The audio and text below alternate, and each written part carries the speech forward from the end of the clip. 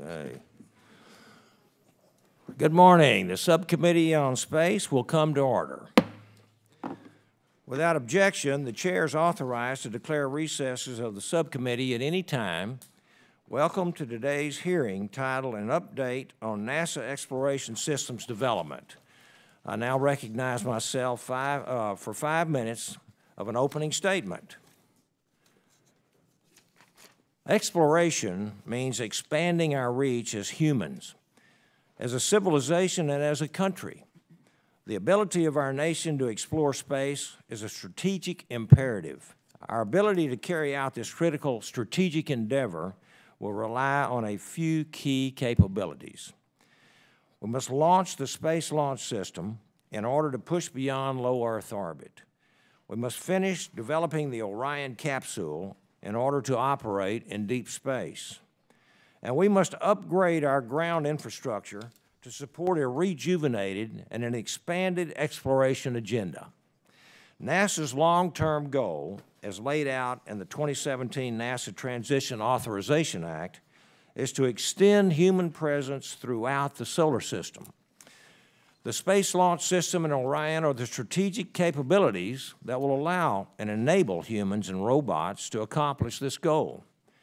SLS and Orion will enable U.S. astronauts to return to the moon for the first time since Gene Cernan left his daughter's name in the lunar regolith in 1972. As Vice President Pence said in his inaugural meeting of the reestablished National Space Council, we will return American astronauts to the moon, not only to leave behind footprints and flags, but to build the foundation that we need to send Americans to Mars and beyond. SLS and Orion are the tip of the spear that will lead that return. The commercial sector can contribute by supplying necessary services and providing augmenting capabilities. But SLS and Orion are irreplaceable strategic assets that are necessary for missions to the moon, Mars, and beyond. One of the first major laws that President Trump signed was the NASA Transition Authorization Act of 2017.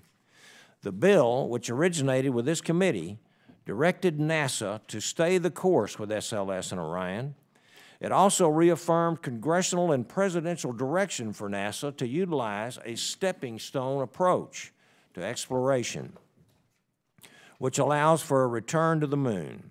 I wholeheartedly support the administration's call to return to the moon. This committee has received testimony time and again that the moon is the appropriate next destination for our space program. Returning to the moon does not have to mean delaying a mission to Mars. On the contrary, it is a logical step that enables exploration of the red planet and beyond. And while I'm excited by the promise of how strategic assets like SLS and Orion will enable America to return to the moon, this committee has a responsibility to conduct oversight to ensure that these programs are successful. All three exploration system elements, SLS, Orion, and ground systems have experienced delays and overruns. This year has certainly challenged the program. Last year, Michoud in Louisiana was hit by a tornado. In August, Texas and Florida were hit by hurricanes. A couple of years ago, the Michoud's vertical assembly facility foundation was not reinforced, requiring a rebuild. This year, complications with friction stir weld pins at Michoud resulted in poor welds on the core stage. All of this adds up. It appears as though the new issues with tornadoes and hurricanes and welding will cost roughly a year of delay. Depending on whether the Europeans deliver the service module on time for integration on Orion, the delay may be greater. Congress needs to understand where the program is today. What costs, schedule, and performance deliverables can the agency commit to? What is the plan going forward? How will NASA manage future uh, issues to ensure long-term program sustainability? We aren't out of the woods yet on this program, but we can see the edge of the forest. Significant progress has been made. We're bending metal, writing software code, and integrating hardware. Given a program of this magnitude, this is no small feat, particularly given the challenges that the program faced under the last administration. In order to meet our nation's space exploration goals, it will take focus, discipline, and continuity of efforts going forward. The administration and Congress must not only provide leadership and direction, but we must also appropriately fund and oversee the program. Similarly, NASA and the contractors have to execute. Failure to do so could have dire consequences for the program, and there will be no one else to blame. The administration has demonstrated its renewed support. Congress consistently funds the program at healthy levels. It is time for NASA and the contractors to deliver. I'm thankful that our witnesses are here today to help us better understand where, we're, uh, where we are with the program and how we plan to move forward, and I look forward to your testimony. I now recognize the ranking member, the gentleman from California, Mr. Bera, for an opening statement. Thank you, Mr. Chairman, um, and good morning to our distinguished panel.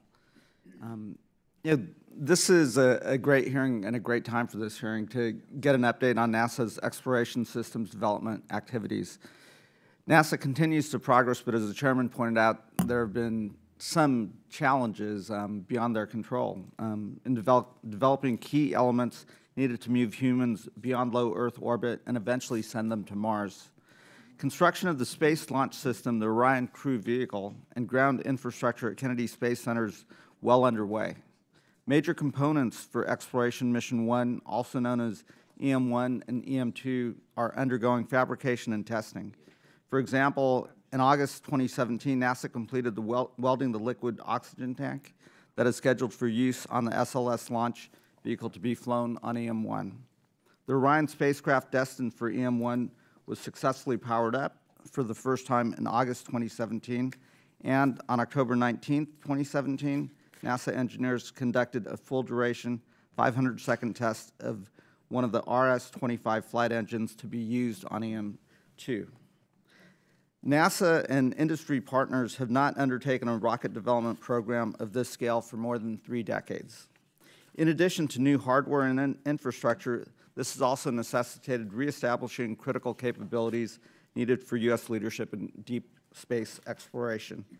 This is not just work NASA and its prime contractors are doing. Over 1,000 suppliers spread across every state are part of this program. However, a program of this size does not happen without challenges, and NASA's human space exploration program is facing several, including having to man maintain manufacturing, test, and processing schedules as SLS, Orion, and EGS are integrated. The recovery of, from tornado damage at the Michoud assembly facility that, that the chairman mentioned. Resolve first-time production issues for SLS elements, and adjust activities in response to unpredictable appropriations funding. As the chairman pointed out, independent analysis by GAO and NASA's Office of Inspector General have also identified concerns with NASA's ability to meet projected launch dates. For instance, in an April 2017 report, GAO found that despite SLS, Orion, and EGS activities making progress, schedule pressure is escalating as technical challenges continue to cause delays. GAO characterized NASA's planned launch date of November 2018 as precarious. Part of what I hope to get out of today's hearing is a better understanding of what that clear plan and an updated launch date for EM1, as well as the opportunity to continue examining other important issues, including the reasons for the latest delay in launching EM1 and the basis for having confidence in NASA's plan moving forward. Indicators and milestones Congress should use as, a, as should use for measuring progress made by both the SLS, Orion, and EGS programs and by NASA in establishing a production capability. And how a return to the moon, including establishing a human presence, would impact the goal of sending humans to Mars in the 2030s, as directed in the 2017 NASA Transition Authorization Act. In closing, Mr. Chairman, you know, you've often heard me talk about you know, growing up um, in the middle of the space race, growing up in Downey, California, um, home of much of the, the Apollo mission, and how that in inspired me, along with a generation of, of, kids, to, to think about the sciences and, and beyond. What we're talking about in terms of the systems that we're developing today is a reestablishment of American leadership in the space program as we start to think about you know, going back to the moon and going beyond into to deep space. And that does have the ability to inspire another generation of kids and, and reinvigorate our desire to explore, our curiosity about the, the universe around us. One of those inspirational figures um, of the nation's human space program is actually with us today. Dr. Magnus has flown on the shuttle and lived on the International Space Station. We thank you, Dr. Magnus, for your service and appreciate you being a role model for millions of young people. I look forward to the testimony and I yield back. Thank you. I couldn't agree more, Mr. Bera. Uh, I now recognize the chairman of our full committee, Mr. Smith. Uh, thank you, Mr. Chairman, and I appreciate uh, your comments and the ranking member's comments as well. Congress has supported NASA's Exploration Systems program for years. We have showed this support in law and with funding from one administration to the next. After all these years, after billions of dollars spent, we are facing more delays and cost overruns. Recent hurricanes and tornadoes have damaged some facilities and slowed localized progress, but many of the problems are self-inflicted.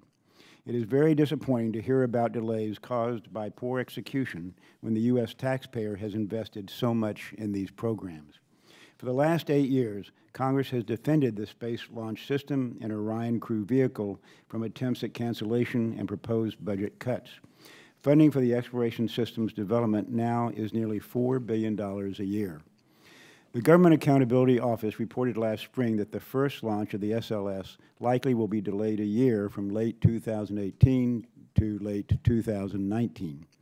Delays with the European Service Model module also could push this into 2020. If this is the case, the schedule for the first launch with crew is also at risk because of the time needed to upgrade the mobile launch platform. The NASA Inspector General reported this week that the development of exploration systems is one of the most significant challenges facing NASA. The IG highlighted problems facing all components of the system, SLS, Orion, and the ground systems. NASA and the contractors should not assume future delays and cost overruns will have no consequences. If delays continue, if costs rise, and if foreseeable technical challenges arise, no one should assume the U.S. taxpayers or their representatives will tolerate this forever. Alternatives to SLS and Orion almost certainly would involve significant taxpayer funding and lead to further delays. But the more setbacks for SLS and Orion face, the more support bills for other options. Other space exploration programs at NASA, like the Commercial Crew Program, also are facing significant delays and challenges. NASA has suffered for decades from program cancellations that have delayed exploration goals. As NASA's exploration systems progress from development to production, operations, and maintenance, NASA and its contractors must bring down cost and guarantee that deadlines are met. To this end, I was glad to see NASA issue a request for information last November in order to explore ways to reduce cost. Moving to firm, fixed-price contracts for production might be an appropriate path going forward, but only if it benefits the taxpayer. Congress needs to have confidence in NASA and the exploration systems contractors, which I don't believe we have now that confidence is ebbing. If it slips much further, NASA and its contractors will have a hard time regaining their credibility. Thank you, Mr. Chairman. I'll yield back. Thank you, Mr. Chairman. Now, let me introduce our witnesses. Our first witness today is Mr. Bill Gerstenmaier, Associate Administrator of Human Exploration and Operations Directorate at NASA. Mr. Gerstenmaier began his NASA career in 1977 performing aeronautical research, and he has managed NASA's human spaceflight portfolio since 2011. He received a Bachelor's of Science in Aeronautical Engineering from Purdue University and a Master's of Science in Mechanical Engineering from the University of Toledo. Our second witness today is Dr. Sandra Magnus, Executive Director at the American Institute of Aeronautics and Astronautics, AIAA. In addition to her role at AIAA, Dr. Magnus is a former NASA astronaut and prior to that worked as a practicing engineer in the aerospace industry. Dr. Magnus received a degree in physics as well as a master's degree in electrical engineering, both from the Missouri University of Science and Technology. She also earned a PhD from the School of Materials Science and Engineering at Georgia Tech. And I now recognize Mr. Gerstenmaier for five minutes to present his testimony. Thank you.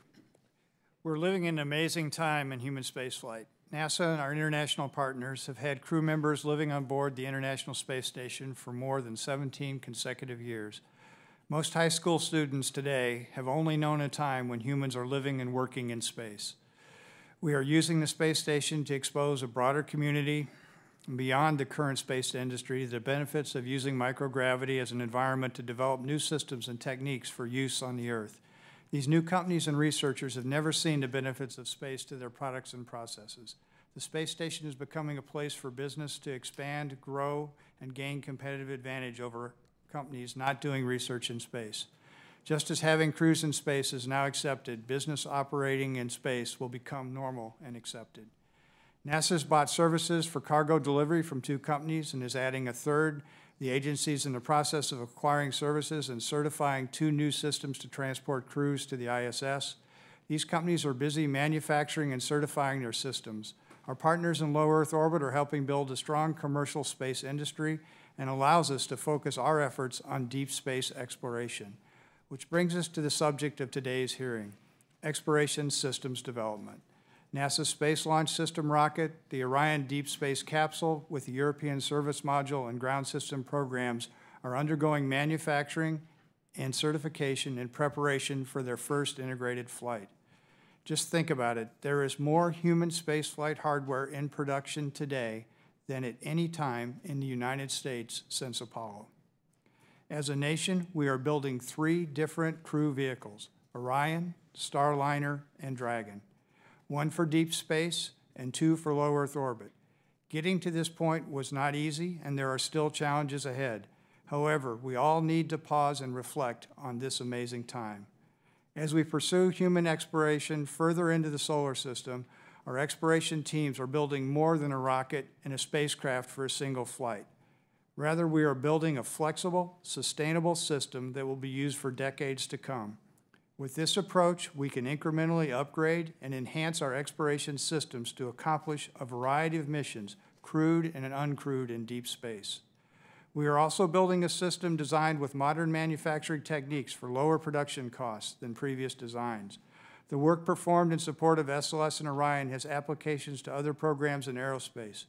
For example, hundreds of requests for information have been transferred from Orion to the commercial spacecraft in development for low Earth orbit. The work on self-reaction reaction friction stir welding developed for SLS will have application beyond SLS to other launch vehicles in development. It is the proper role of government to develop capabilities for use by all. Hardware to support the multiple flights has been built. Three Orion crew modules, one structural test article, one flown during exploration flight test one, and the current flight article have all been built for Orion. Four major test stands are complete at Marshall, the engine section structural testing is fully complete at Marshall. The vertical assembly building at KSC is complete. The launch pad is nearing completion. All RS-25 engines and controllers are ready for flight. 17 parachute development tests are complete. Four qualification parachute tests are complete with four more open. The data from these parachute tests are helping our commercial crew partners with their tests also. The amount of work completed today for the deep space exploration systems is large, and it is documented in my written testimony. Further, the, the, this government investment in SLS and Orion is benefiting all. We need to be careful and not focus on a single launch date projection, but rather take time to examine the quality, quantity, and future benefit of the work completed. This deeper examination will reveal the value of the work completed to the nation.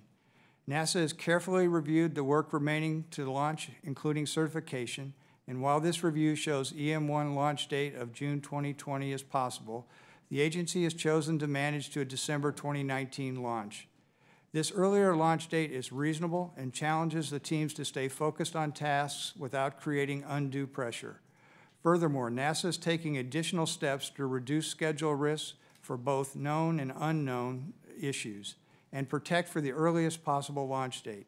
The costs for EM1, even with the June date, remain within the 15% limit for SLS and are slightly above for ground systems operations. Exploration Mission 2, Orion cost and schedule are not adversely impacted by the EM1 schedule. And, and as discussed earlier, the work completed by SLS, Orion, GSDO shows outstanding progress. I welcome your questions and thank you for this opportunity to discuss the amazing work accomplished by the men and women of NASA and their contractor partner teams. Thank you. Thank you, Mr. Gerstenmaier. And now I recognize Dr. Magnus for five minutes for her testimony.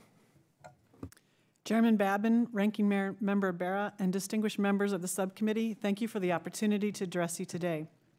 The development system of the Space Launch System and the Orion Crew Vehicle are major milestones for our nation's space program, and I would not understate their importance. However, I would like to address the larger view related to the current state of our human spaceflight program and comment on its progress and direction. The idea of what is possible in space has been in transition over the last decade. When talking with the public, I use a model to describe the ecosystem that is today's human spaceflight program. I refer you to the fi figure on the TV monitors and have you imagine a bubble or a balloon centered on the Earth slowly expanding. That expanding surface represents the outward expansion of human activity. Since, since the Apollo era, for the last 40 years, the surface of that bubble has expanded only to low Earth orbit in that initial phase, and it's remained there. During this period, the government was the driving force behind the expansion of human activity in space, and this has led to an accumulation of experience, technology, and management operations in, in this environment. Now, private industry has become interested in engaging more proactively and independently in this open space, in that development phase, as on the figure. As commercial activities mature, it creates stability and a foundation upon which the surface of the bubble, the initial phase, can expand yet further beyond low Earth orbit. For the foreseeable future, expansion beyond will continue to be driven primarily by government derived goals and investments. Because of the increase in engagement by industry in LEO and low Earth orbit, NASA and the government are now free to develop beyond into cislunar space and beyond that. But at the core of implementing this model are two key questions. What are the technologies, knowledge, and experience that the government wants to have available for broad dissemination to industry 50 years from now? And two, what are the capabilities and services that, are, that the government and private industry, each driven by their own motives, are interested in developing that can potentially sustain viable space-based businesses after leveraging initial government investment. A core concept inherent in the model and underscored by these questions is the fact that there is a need for government investment and activity at the leading edge of exploration during that initial phase, and the fact that industry will, sooner or later, reap the benefit of that government investment to create and establish new capabilities and business ventures in the development phase. And I might comment the normalization phase we're not ready for yet in human spaceflight, but you see that happening uh, over the last decades in the satellite industry where there are independent economic spheres active and the government is a customer. However, the government still does its own thing for its own purposes. So if you can add that uh, sort of with a twist to human spaceflight, we're just simply not ready for that phase yet. And this is the dynamic that's unfolding in human spaceflight, as I mentioned. The model I've discussed is a powerful one, and if it's employed strategically, if employed strategically. If, and that brings me to the important point, and this is one that you've heard many, many times, and I don't think that you disagree. And so the United States needs a comprehensive national space strategy. It is imperative that we commit as a nation with a constancy of purpose for the long term. It is the nature of the space business that it takes time, patience, and constant purpose to make advancements. The establishment of the National Space Council provides an opportunity to create this integrated approach. A committed long-term strategy is necessary, but it's not enough to ensure the success of the U.S. space program. To be effective, sufficient resources need to be allocated to implement the plan. This is something that has challenged NASA in the past and continues today. When I joined the agency in 1996, NASA received approximately seven-tenths of a penny for every tax dollar. Today, the agency receives approximately five-tenths of a penny for every tax dollar. This despite the fact that the number, breadth, and complexity of programs has increased. Fundamentally, NASA is constrained by limited control on the expense side of its budget as well, and has limited freedom to adjust overhead, either facilities or civil workforce, whether size or skill set, and in some cases, the management of task assignments around the agency. To execute a long-term strategic U.S. space program in a constrained budget environment effectively and successfully, NASA must be given the ability to make decisions and take actions in these areas. Equally important to the adequate resources is the stability insurance of those resources. Developing space hardware is complex and challenging, as you've heard today. A program with a multi-year phase budget can absorb more initially expensive engineering decisions, knowing that the result will be lower operational costs and hence overall net savings over the life of the program. The current budgeting process and lack of a stable budgetary environment prohibits this kind of comprehensive approach to be used. The transition that is occurring in how humans engage in space has been a goal for decades. Our nation was built upon exploration, expansion, and ex economic development. From the arrival of the first immigrants and settlers to the westward expansion, across the continent we have faced the challenges, forged new paths, and overcome all obstacles. As we expand into space, the next frontier, I am confident we can tap into the same spirit and energy. Again, thank you for the opportunity to address this body and thank you for your continued support of our nation's space program. I look forward to answering any questions you may have. Thank you very much, Dr. Magnus. I now recognize, uh, and I appreciate your the witness's testimony. Uh, the chair recognizes himself for five minutes for questions. And I want to thank you both. I was running a little bit late this morning, didn't have a chance to see you before the, the hearing started. So uh, anyway, great to have you here. We appreciate you. One of the primary purposes of the NASA Transition Authorization Act of 2017 was continuity of purpose and expressing the importance of staying the course on program development so as not to delay American space exploration any longer. Can each of you discuss the importance of continuity of purpose and how you balance that against good program management and discipline? And we'll start with you, uh, Mr. Gerstenmaier.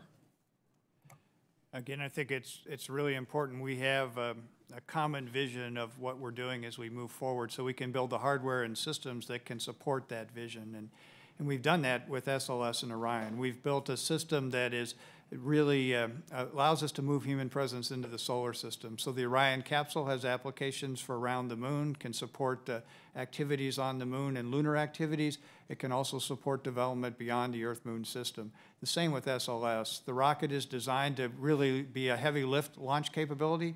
It can support the human missions around the moon, also be absolutely critical and needed for Mars-class missions, and it also can serve a very strong role for the science activities, such as the Europa mission to go out to the outer planets. It can reduce the transit time by 50% to the outer planets. So we have tried to build pieces of key infrastructure that enables this vision and allows us to fit within this architecture and framework we've been given, but keeping a uh, constancy of purpose or a general direction we're moving forward is extremely important to us. Starting and stopping is very difficult in our industry. Okay. Dr. Magnus. Excuse me. Yeah, I'd like to echo that. Starting and stopping in our industry is, is really not healthy. Um, right. We saw that with the end of the shuttle program, and we lost a lot of our corporate knowledge, um, and we're going to see some of that when we start launching again. We'll have to relearn some lessons that we've already learned. But the continuity piece is important. You know, as a, as a nation, we have a little bit sometimes of a short attention span, and, and we end up hurting ourselves. It was already mentioned earlier, there were a lot of programs that we've seen NASA have to cancel over the years. If you look back in the Apollo era, you think of the dedication and the commitment they had over a decade and longer to commit and execute that program. That's really what you need in the space, human spaceflight. You need a 10-year, 15-year, a 20-year program, and you need to be able to stick to it. I think it's really um, exciting that the committee's interested in this topic. I think the oversight's important to, to sort of keep people focused. I think that's an important key as well. So it takes the whole community. But you have to be able to stick to the right. program and you have to be able to fund it appropriately so that the intelligent decisions can be made to do the trade-offs with the expenses. Excellent. Thank you very much. Um, how, how will a delay in the first launch of an uncrewed space launch system until no earlier than December of 2019 impact uh, the scheduled launch date of a crewed launch of SLS? NASA is an internal date, uh, an internal date is managing to, as well as a date it has formally committed to. Does either of these dates, uh, do either of these dates now change? Yeah, again, in terms of our uh, exploration mission two, our first crewed mission, Um, So far, the, the schedule delays, even if, if uh, the exploration mission one went all the way to June, it doesn't really impact where we are with EM2. There's a, there's a constraint that the mobile launch platform in Florida, that's the facility that the rocket launches off of, it needs to be modified between the first flight and the second flight to allow for the exploration upper stage, and there's a 33-month amount of time needed between, for that uh, upgrade of that mobile launcher. So that's what keeps EM1 and EM2 uh, tied together. But right now, the, the slips that we've seen with EM1 don't impact where we can, we can launch the first crewed flight at this point. But again, we need to be very careful of that, we need to watch for that, and we need to potentially discuss whether it's advantageous to us to have another mobile launcher available to avoid that tie between EM1 and EM2. But that's, that's the current time. Okay, thank you. Uh, Dr. Magnus, do you have anything to add to that? Okay. Uh, How will a slip in the first launch of the uncrewed space launch system impact the cost of the program? Again, it's, it's surprising to some that the overall cost hasn't really changed that much because what we've, especially for EM1, because what we've done is we're really building much more than just one single flight. So as work is completed on the first launch and the first flight, when that work is completed, that work can be set off to the side and the teams can go off and start working on the next element. So in fact, we have today multiple uh, pieces of hardware inflow for the multiple missions across the, the sequence. Okay. Uh, I've Got six seconds. How will a delay in the first uncrewed launch of the Space Launch System impact a potential launch of SLS for the Europa mission? Again, there's, there's really no impact there. We can support pretty much whatever the Science Mission Directorate needs for that mission, and we'll figure out whether it occurs after if the first flight or after the second flight to meet their needs. Okay, I have several more questions, but we're going to go on to the gentleman from California, uh, Mr. Bera. Thank you, Mr. Chairman. I think, um, Dr. Magnuson, in your opening statement, you talked about the importance of having a strategic vision over, over the long period. And, and we saw that when President Kennedy challenged us in, in the 1960s to put on a man on the moon in this decade. My, my colleague from Colorado probably does have a sticker that says Mars by 2033. Um, so we ought to, we ought, we ought to commit to putting a woman on Mars by 2033. It does, um, um, it does, you know, give the public a sense of what we're working towards. And in that perspective, as we're thinking about SLS and Orion, um, the lunar mission, et cetera, it gives us the, the chance to think about it in the context of, okay, if we're going to the moon, how does that help us then think about how we're going to go and take that next step? So in that context, as we're thinking about um, EM1 in the context of going to deeper space, um, how is the, you know, uh, I'm, I'm sensing that as we do the EM1 mission, we're learning a lot. We're reestablishing supply chains. We're reestablishing a, a work, workforce and, and a talent base that will make EM2 um, easier. Is that correct? Uh, Yes, definitely. As we, the first EM1 flight is to test the vehicles and the systems and the hardware to make sure they're really operating to the levels that they need to be when we put crew on board. And I think as you see this movement outward, we go to the moon where we can return if something goes wrong in several days, five days. On station today, we can be back in about an hour, hour and a half from station. When we go to Mars, we're now committed for multiple months. So I think you see that natural progression in taking more risk, learning to operate in a more challenging environment. And as you operate in that more challenging environment, you need the systems that can support operating in that environment. So it's kind of a natural stepping stone and movement as we use the moon as a proving ground, a training ground, a development area where we can build concepts, processes, procedures, and hardware that eventually allow us to go do the, the Mars-class missions in the future. And as we move on to EM2 and send a, a crew up, are we also now conceptually thinking about E EM3? Yes, if we're really building continually to, to challenge what we can do. The, the big advantage of the Space Launch System is we can not only carry crew, but we can carry a substantial uh, cargo with us, uh, with the crew. So we can carry potentially a habitation uh, piece with us on EM3, and when the crew will be there, they can go into that habitation module and begin a, a crew-tended presence around the moon, which is again starting to, to break that tie back to the home planet and getting us ready to move into to deep space. So you can see that natural progression of where each mission builds on the past mission, we take stronger challenges, we push the team more, we gain the experience, and what we learn from those earlier missions, it feeds directly into the next mission. So each mission builds on each other. Well, Dr. Magnus, in the slide that, that you presented, you also show the, the private commercial sector following behind. So um, could you, could you describe how you see the, the private and international community, you know, kind of following behind as we, as the government starts to push further and further, uh, how the, the, the private sector and international community can continue to support that? Yeah, so that goes back to the idea of a, a, national comprehensive strategy because ideally, what you would want to do from a national viewpoint is figure out what are the technologies and capabilities that you want to invest in from a government viewpoint so that those, those um, knowledge and those pieces of uh, technology are available for everybody. And then what, is, what are the things that are a little bit more mature that you could encourage companies or companies might be interested in developing? And from a national viewpoint as well, when you think about the international piece, what are those technologies and capabilities that as a country we want to take the lead in? Do we want to be the transport experts? You look at Canada, they've decided to focus on robotics, for example. And then understanding the concept of those priorities, you can then establish how do you want to bring the international partners in and how do you want to help the companies establish um, you know, the leverage that they need to, to build into their businesses. So you have to kind of start with that big picture view that has to be a little bit more government-wide and nationally focused. And, you know, prior committee hearings, let me make sure I'm thinking about this correctly. You know, when, we've thought about a return to the moon, you know, I can visualize a, a day where NASA is focused on the science mi mission, they may look at the, the various launch vehicles that are available in, in the commercial market as opposed to having to build their own launch vehicle. Say, okay, we'll contract with company X to be the launch vehicle.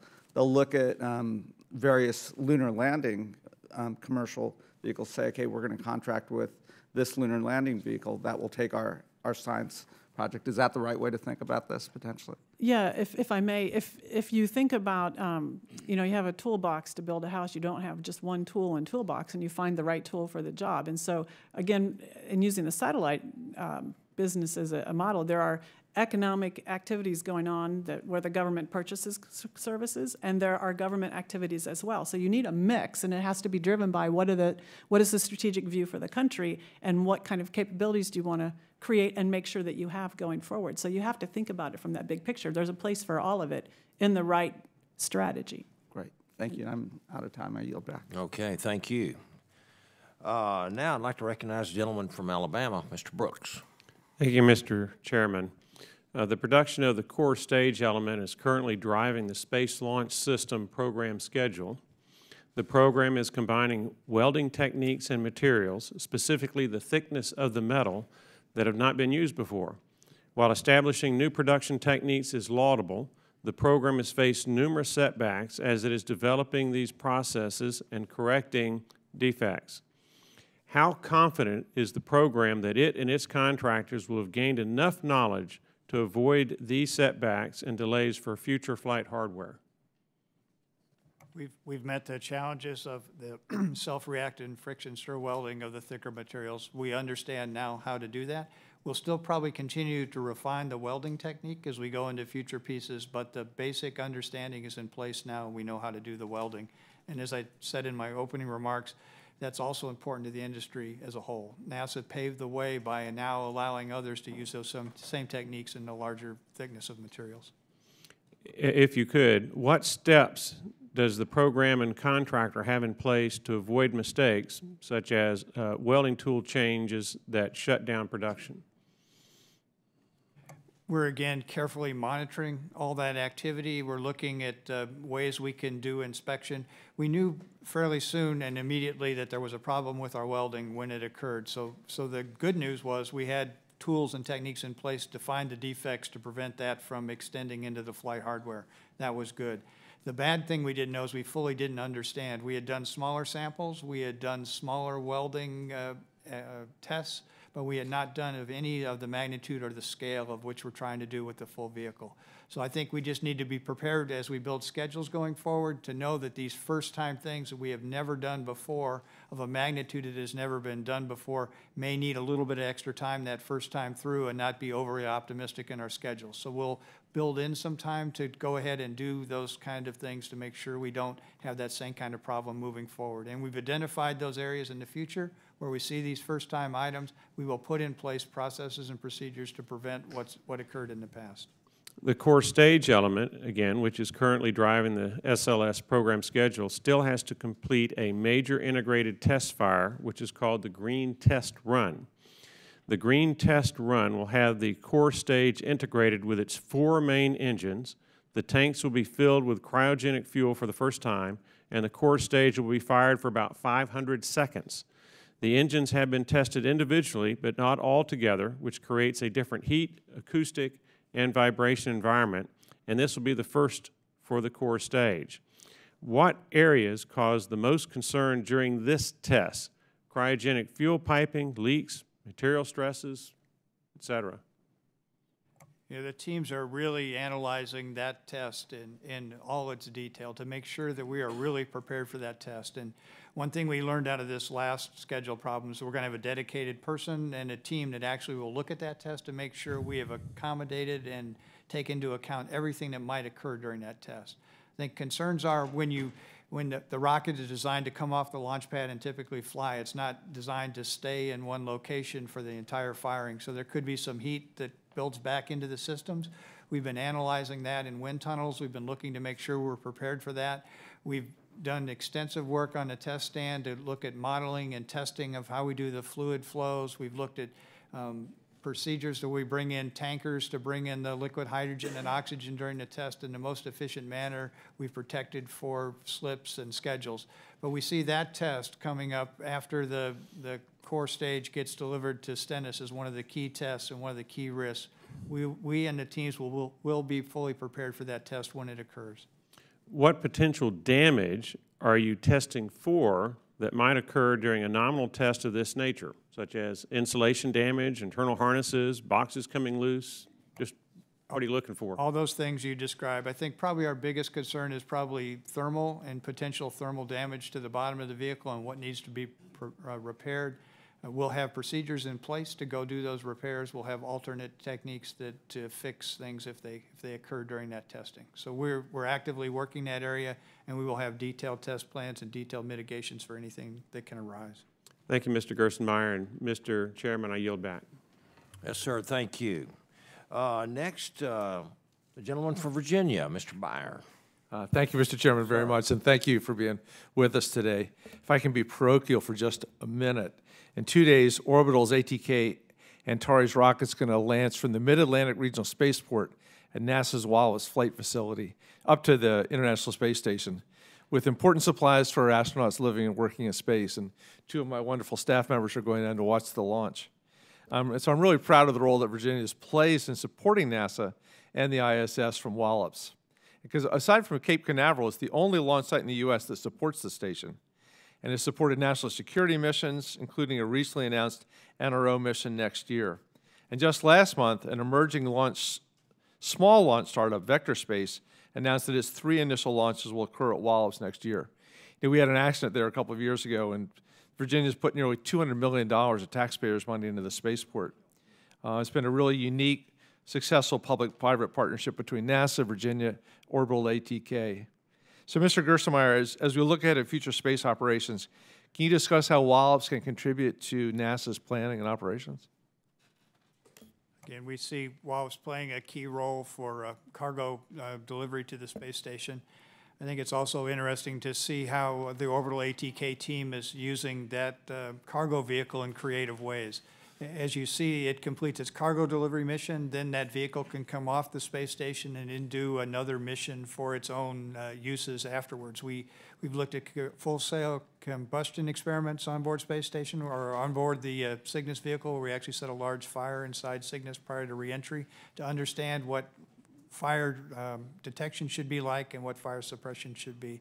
So it's pretty exciting to see the orbital ATK team look at creative ways of using their vehicles with a post-mission after the cargo mission is done in creative ways and bringing other folks in. So I think we'll continue to see a, a s- fr- s- large number of launches out of, uh, out of Virginia supporting that activity and growing in that area. You'll also notice the control center's been upgraded. You'll notice some of the other things that we've done in the times between the flights. So you'll see NASA's investment in the, in the launch site as well as what the state of Great, Virginia's great. done. Thank you very much. And Dr. Magnus, in, in your testimony, uh, you, you said and you wrote, and I quote, "The United States needs a comprehensive national space strategy accompanied by a continuous long-term commitment for its execution." Do we not have that already?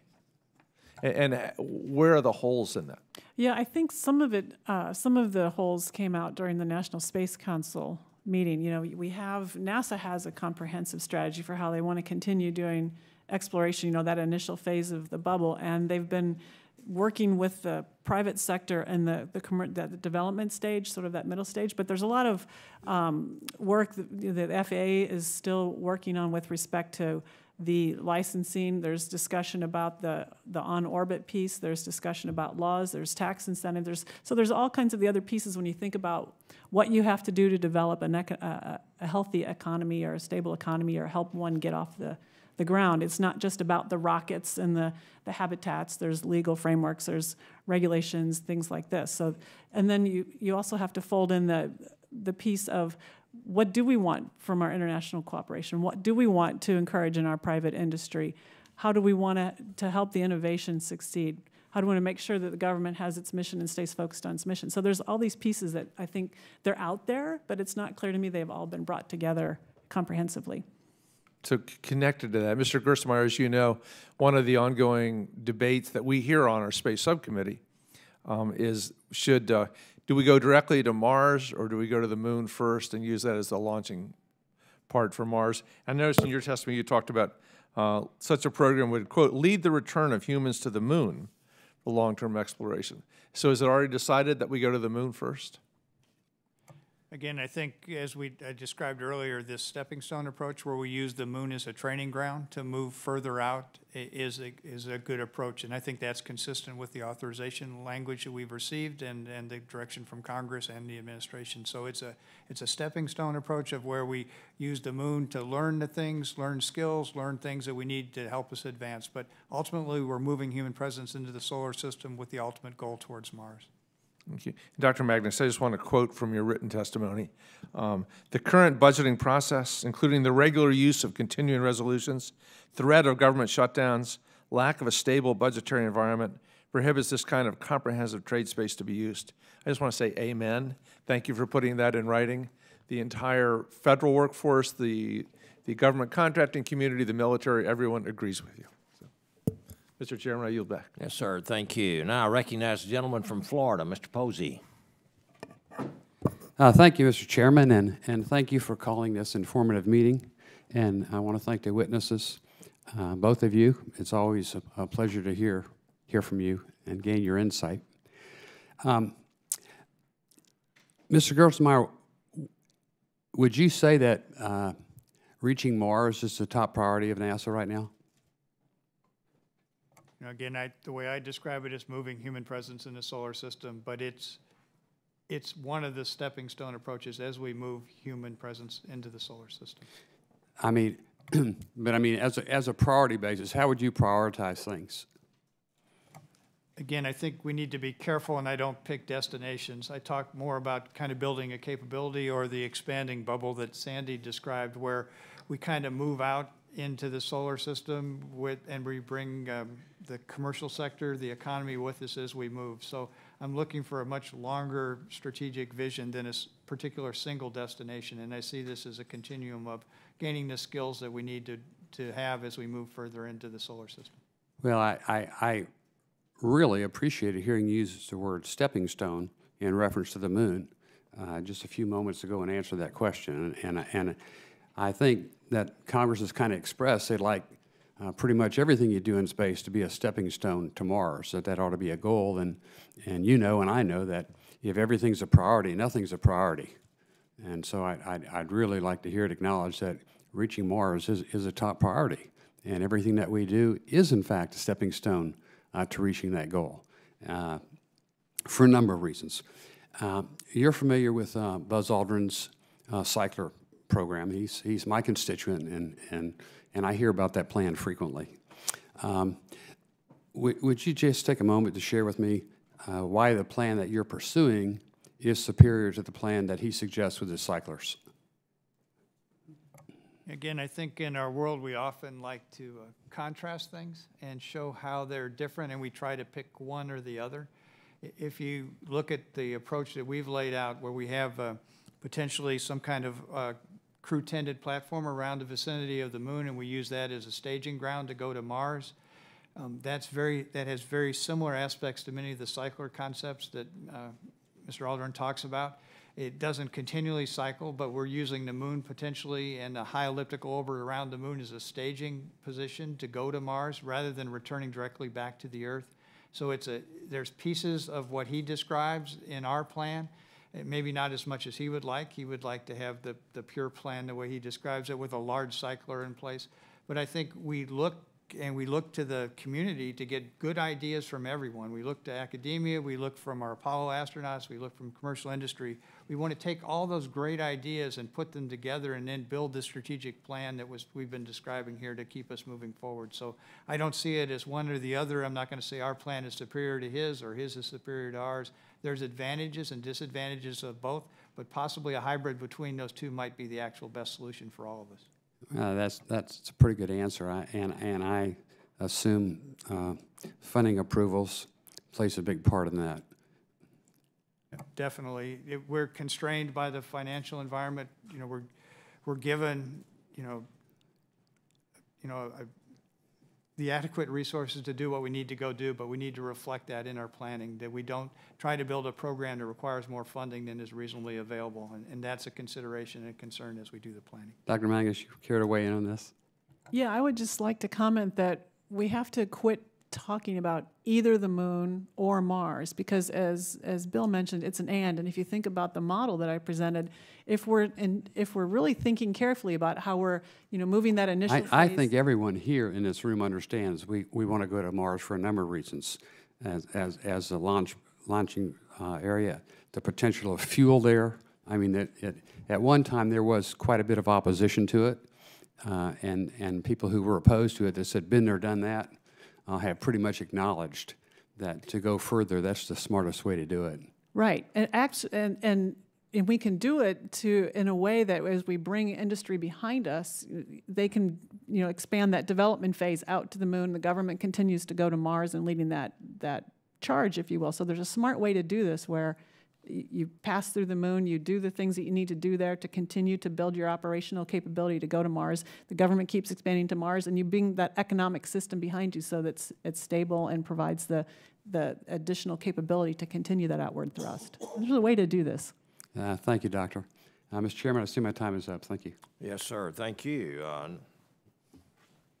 and, Yeah, the gentleman from Colorado, uh, Mr. Perlmutter.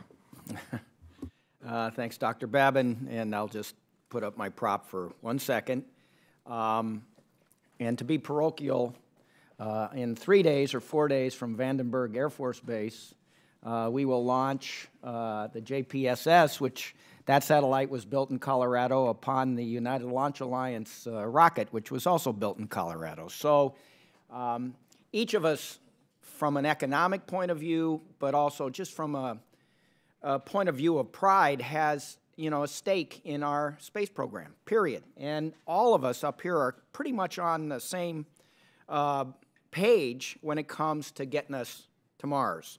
I don't care how we get there just get there by 2033 if not a lot earlier. And so my job whether it's a stepping stone to the moon or we use a hyperloop or we you know somehow somebody comes up with beaming us over to Mars. I just want our astronauts on Mars. Orion and SLS are the, the main vehicle we have to do this now.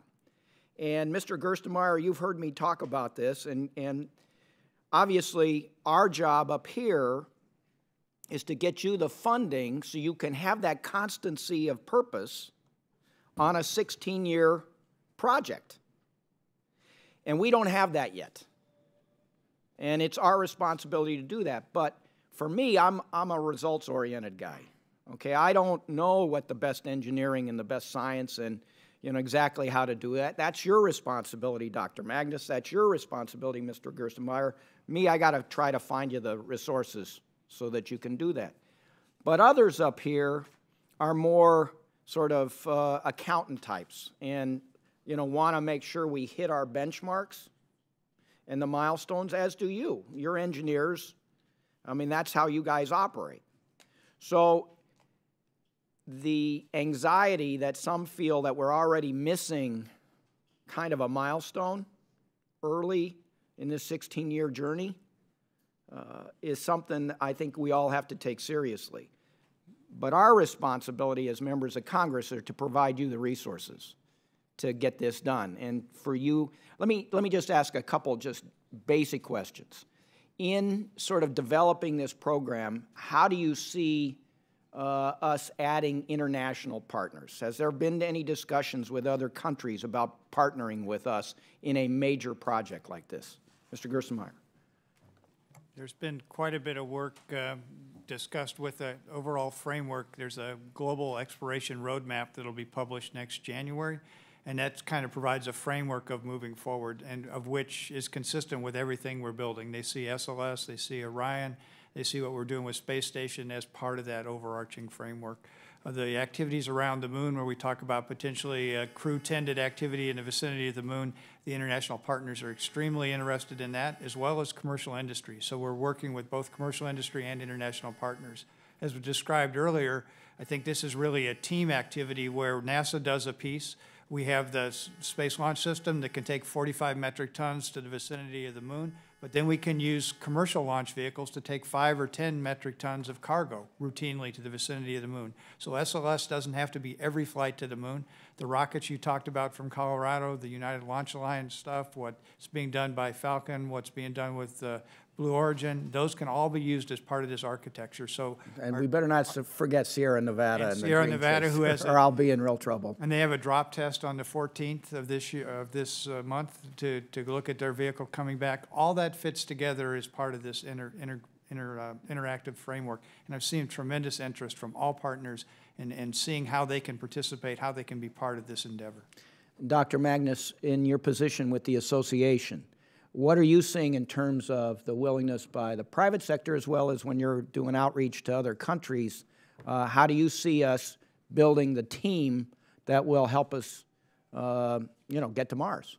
There's a huge amount of interest in the private sector in the United States to participate in this project in any way, shape, or form. There are a lot of small companies that are engaging in space that never existed before. There are, uh, are established companies who are taking uh, innovative approaches to how they want to engage in space. There's a lot of energy out there. There's a lot of great ideas out there. Um, I have no doubt that we can do it. Internationally, I think they look to us, our international partners look to us to provide the vision and the energy and the drive, not necessarily to be the dictators and, and direct everybody what to do, but uh, Bill mentioned the roadmap. There's a lot of a lot of enthusiasm to to have the United States. You guys, you know, this is great. You've got this vision. We all want to take a part of it. Let's figure out how we can do that. So we can do it if we just keep constancy of purpose and fund it. And at the bottom of it, it says, we can There- do this. there you go. All right? Thank you. I yield back. Thank you, Mr. Perlmutter. Now recognize the gentleman from uh, Florida, Mr. D- Dr. Dunn. Thank you very much, Mr. Chairman. It's always a lot of fun to come here and listen to the in- interesting and intelligent people that you bring to these uh, these hearings. Uh, I have a thousand questions in five minutes, so I'm going to jump right in. Uh, we spoke earlier. You know my background as a as a surgeon, so um, I'm going to ask a lot of questions about life sciences if I can. So, what are the special risks, or are there special risks in uh, in deep space missions that that differ from long duration low Earth orbit missions? Probably the biggest risk that occurs is uh, the ri- risk to radiation and radiation exposure to, to humans in deep space. Around the Earth, we're shielded somewhat from uh, some of the radiation by the magnetosphere. In deep space, that, that shielding is gone. So we're going to have to go look at techniques to shield the crews and, and look at the, the if there's any other techniques we can even do in terms of medication and other things to help with, with radiation during the journey. It's not an insurmountable problem, but it's a problem that we need to address that, that we can't uh, look at as easily on, around the earth as, as we would like. So, so you're already opening up new avenues of research in, in life sciences for these extended deep space missions. That's exciting. Um, can, and of course, some of that can obviously translate to Earth too. You can Earthbound. Uh, so, uh, what interesting things have we learned from the Kelly astronaut twin experiments?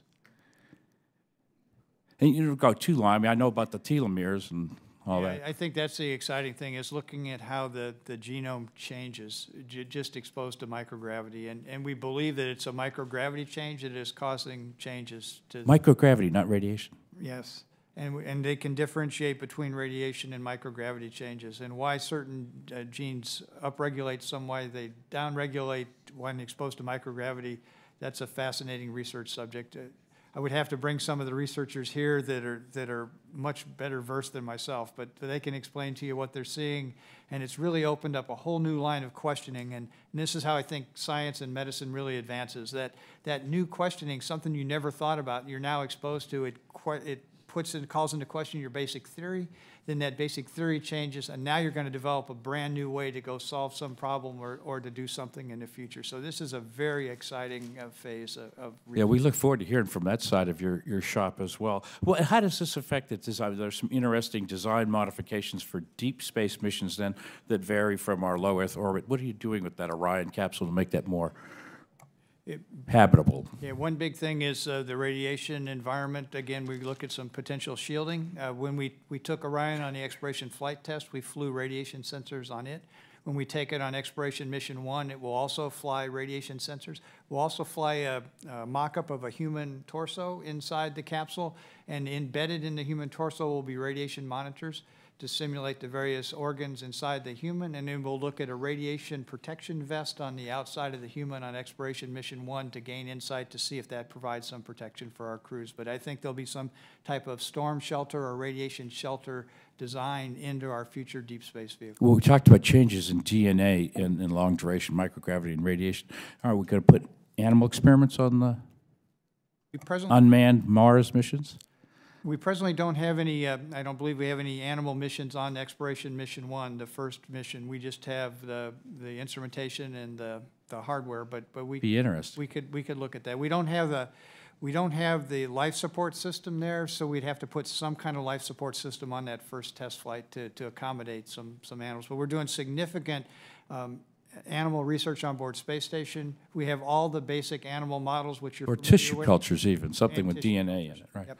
So, so Dr. Magnus, you have a kind of a personal relationship with radiation and space. Uh, Can you comment on this?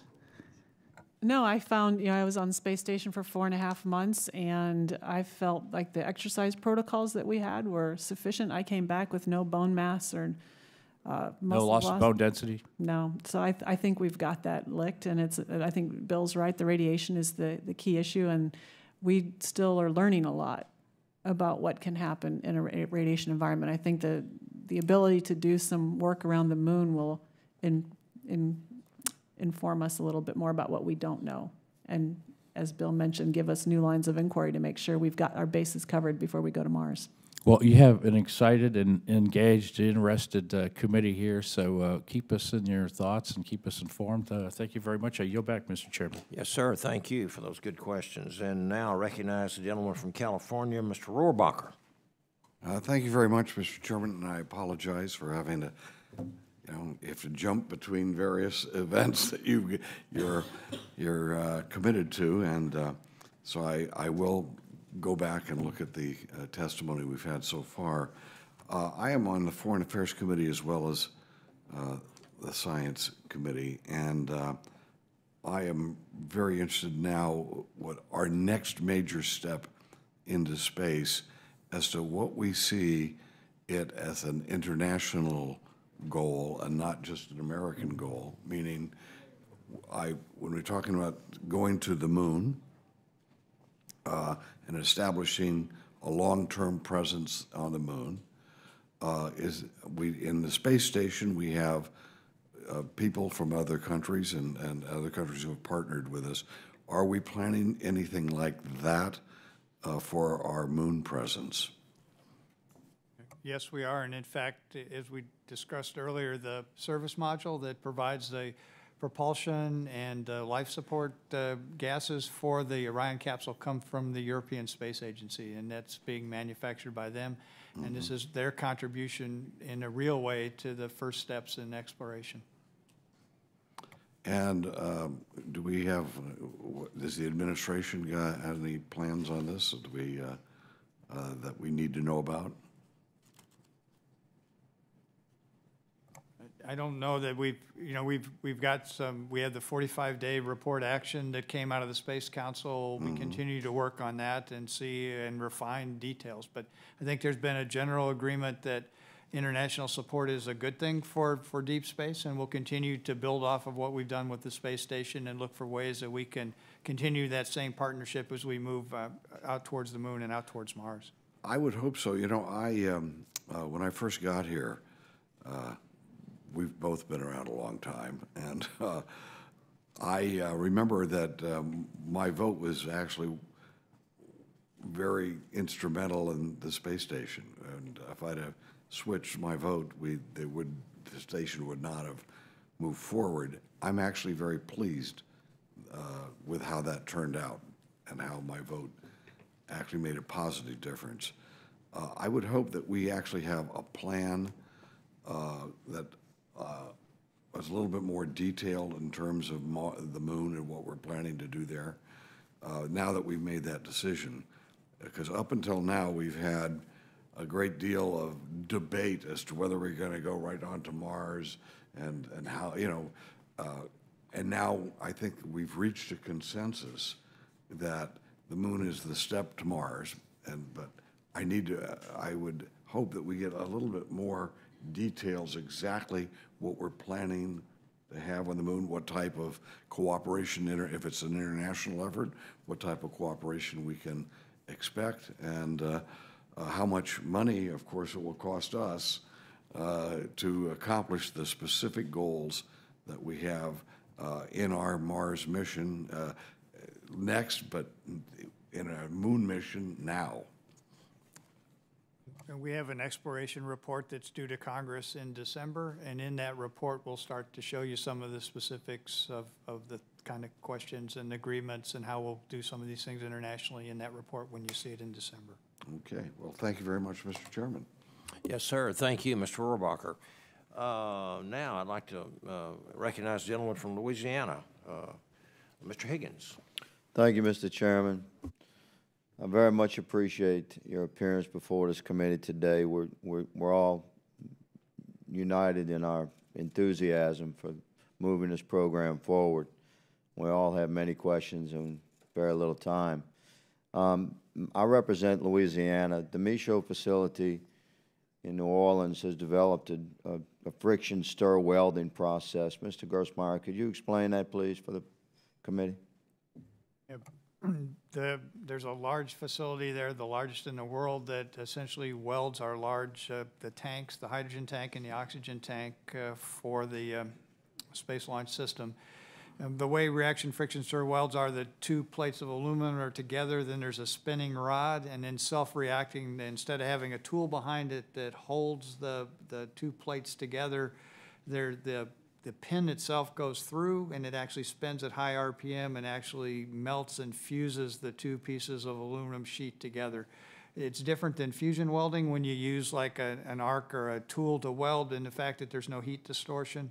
It actually just molds and puts those two pieces of structure together. And, and this is the latest welding technique on the planet, am I correct? And provides a very, very strong weld and allows you to use uh, new, thinner layers of, of steel that allows them to be sufficient and strong, stronger than in the past, and yet lighter. Is that correct? Yeah, it provides a superior weld performance in the fact that the defects are, are typically less, and the fact that there's no heat distortion allows for the components to be joined together and put together in a much stronger manner than they could through another. Another right, thank you. And let me jump forward to uh, man presence on the moon, which, as we have discussed earlier as a stepping stone to Mars. Um, Have, have landing sites, lunar landing sites been, been discussed and determined? From a robotic standpoint, I think what we're interested in now is if you look at the Apollo missions, most of those missions were equatorial around the equator of the moon. We see, we see potential water or, or at least uh, water in the north and south pole of the moon. That could be very, very important to us as we think about moving forward. If we don't have to carry all our resources with us as we move into the solar system, if we can get water from the moon, that would be very interesting to us. So we see some permanently shadowed regions in the north and south pole of the moon that we would like to investigate, maybe first robotically and then potentially, if it makes sense, with humans in those areas. But as soon as we can understand how that water is potentially held in the lunar regolith, that can be really important to a market and how we use that and how we move uh, presence into the solar system. Yes, sir. Regarding shelter for human presence on the moon for extended exploration and, and, and extended periods of time on the moon's surface, uh, one of the major challenges is uh, developing uh, habitant, you know, protected areas where the astronauts could stay. Last month, the, the Japan Aerospace Exploration Agency discovered a uh, large and stable uh, lava tube beneath the surface, approximately 300 feet deep, 300 feet wide, accessible through what they refer to as skylights, areas where the, the ceiling or the roof of the tube had collapsed. Um, does this change the paradigm of what of, of what you and your team might be considering regarding human habitation? I think it's definitely something to be considered, because if you can take advantage of the radiation shielding provided by the lunar regolith, then you can have a, a structure or a location to actually uh, go into for, for storm shelters. That could be interesting. So I, I think that's something that we need to continue to keep looking at and see how that fits in. And this could be explored robotically, am I correct? Yes, you could definitely do it robotically. We've talked sometimes about having an orbiting uh, perm, or crew-tended capability around the moon. You could do that, and then you could use astronauts on board this uh, gateway concept that we've talked about to actually command rovers to drive into these potential lava tubes, explore them, understand what's available prior to committing humans to go. Yes, sir. And one more thing uh, regarding these, these underground caverns and tubes, as opposed to on Earth because of the low gravity of the moon, it, it's been, it's been stated by reputable scientists that these tubes could be as large as two or three miles in diameter. Uh, d- Does your studies concur with that? I'm not familiar with those studies, and I'd have to go research that or ask someone.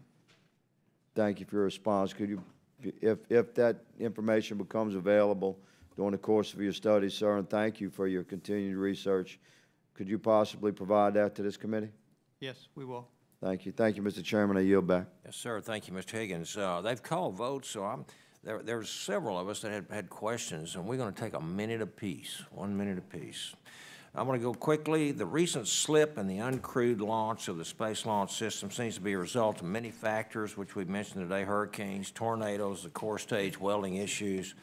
What impact will a delay in delivery of the Orion service module by the Europeans have on the December 2019 date? What tools does NASA have to ensure uh, that the European service module does not lead to further delays? You can answer that, please, Mr. Gerstenmaier. Yeah, we're working extensively with the European Space Agency. They've committed some extra funding to make sure that they can do what, from a schedule standpoint, be prepared. We know there's some high-pressure helium valves that are actually manufactured in the United States for the Europeans. We know those valves are having trouble being manufactured.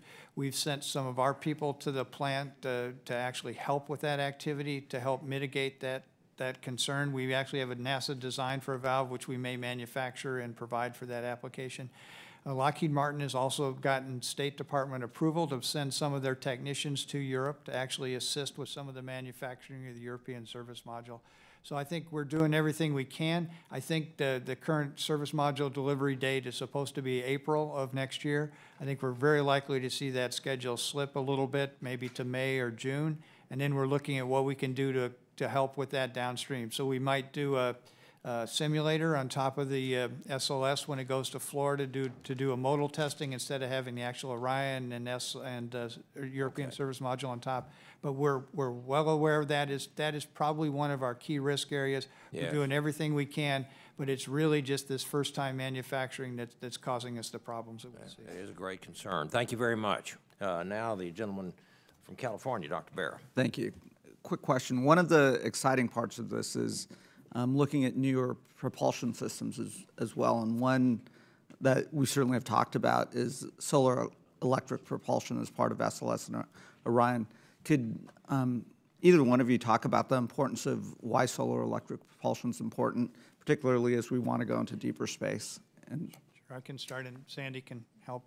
I, I think that the big advantage is that in terms of efficiency and the amount of propellant that needs to be there to actually go move things, it's very, very efficient to move large masses throughout the solar system. And, and so you can, you can move, if we have this, um, this crew-tended facility around the moon, it can be in one orbit, then we can use electric propulsion to move it to a totally different orbit. So we can be in equatorial, we can go to polar.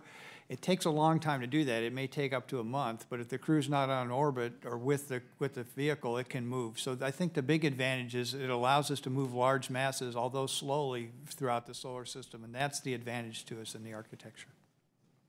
Yeah, I would just add, you know, in the context of our discussions that were more strategic, because NASA's developing this system, it'll be technology that's available for everyone to use. And so it's one of those feeders, if you will, that will allow our um, economy to advance and other companies to take advantage of that kind of capability. And I might add, we just recently awarded some study contracts to typical communication satellite manufacturers to see if they would have interest in using the next generation of electric propulsion thrusters and a higher power propulsion bus. So we might actually be enabling the commer- commercial communication satellite industry to get a jump over other foreign competitors by advancing the state-of-the-art in electric propulsion and power generation beyond where they are today. And, and we, so we gain, they gain directly from what we're trying to do, and then we get a capability we can use around the moon for our needs. So this is kind of a win-win between industry and us. Yes, sir. Uh, Now, I think Mr. Rohrabacher has, from California, has one Well, you just mentioned uh, commercial uh, activities, and, uh, uh, and I had asked before what we thought about international cooperation. Uh, Is there anything part of the plans for this extended moon presence that we're talking about now uh, that would include the private sector? And, and we, uh, we know now, uh, you know, 20, 30 years ago, we didn't have these private companies like SpaceX and, and all the others making their contribution. Do we expect there to be a private uh, uh, uh, involvement and commercial involvement in a way that will help uh, uh, bring down the cost as well? Yeah, we currently have the next step broad area announcements where we're working with five companies to go look at habitation capability around the moon, and we're actively engaged with them. They're very interested in what they can do uh, with us, and, and then they may have application for that in low Earth orbit as maybe a follow-on to the International Space Station. So we're actively very much involved with them. As I described earlier, um, SLS meets a unique niche. It can carry large mass to the vicinity of the moon along with crew, but we will definitely use expendable launch vehicles, uh, the new vehicles that are coming online, the Falcon 9, Falcon 9 Heavy, New Glenn, uh, all those capabilities, United Launch Alliance as they build their rockets, all those will be used. So I think what's interesting is we look to this whole suite of launch capabilities and commercial capabilities, and how do we build a plan that involves all of them? So just like you described, we do the best of international, the best of commercial, we put it together into a plan to allow us collectively as a nation to move forward. That's terrific. Thank you for that answer, and I hope uh, maybe uh, Bigelow might have a little play in that as well. He's one of the broad area announcements uh, participants in the habitation activity. Great, thank you. All right, so thank you, Mr. Rohrabacher. I- uh, This, uh, I want to thank the witnesses for this very, very interesting um, uh, hearing and your valuable testimony. And I want to thank all the, the uh, members for their questions. The record will remain open for two weeks for additional comments and written questions from the members. So with this, the hearing is adjourned. Better.